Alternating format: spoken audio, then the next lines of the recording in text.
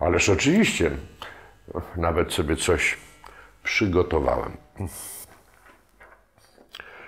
Dawno, dawno temu, za Tatrami i innymi górami, na drugim brzegu siedmiomilowego lasu mieszkał zły wilk razem z przedwcześnie rozbudzoną królewną. Dziwny ten układ chronił czerwony kapturek. Jednak siedmiu krasnoludków na czele z Calineczkiem i Tomciem Paluchem postanowiło skończyć z ich niemoralnym związkiem.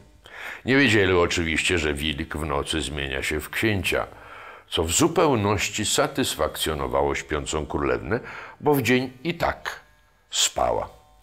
Nieświadome prawdy krasnoludki ruszyły na krucjatę na drugi koniec lasu.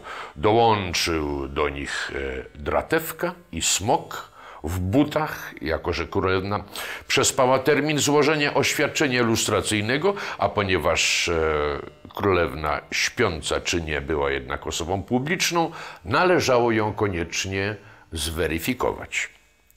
Nie wiedzieć czemu do ekspedycji dołączył Robin Hood z wyraźną chęcią obrabowania wilka księcia, który według jego danych był bardzo dobrze zakonspirowanym oligarchą. Po drodze spotkali jeszcze samotnego Alibabę. Wszyscy jego rozbójnicy już dawno zalegalizowali swoje interesy. Alibaba żył natomiast z ulgi podatkowej, bo w dokumentach rozbójnicy byli jego dziećmi. Prawdopodobnie już w nocy wszystkie sprawy byłyby wyjaśnione, ale niestety Jacek i Placek podprowadzili księżyc, a po ciemku i bez latarki nawet CBA nigdzie nie trafi. Bladym świtem dotarli więc do siedziby królewny i wilka.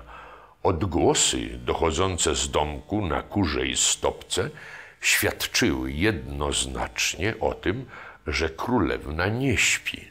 Fachowo otoczyli więc dom, ale nagle na drodze stanęła im szklana kura. Co ty tu robisz, szklana kuro? spytali. Znoszę szklane jajka, odpowiedziała. A po co? Zdziwili się. No właśnie, odpowiedziała kura. A potem jakoś poszło dalej i wszyscy żyli długo i szczęśliwie. A teraz dzieci, proszę spać, a dorośli też, do łóżek, bo może dzięki temu urodzi się ktoś, kto będzie pisał bardziej sensowne bajki. Życzę Państwu miłego wieczoru.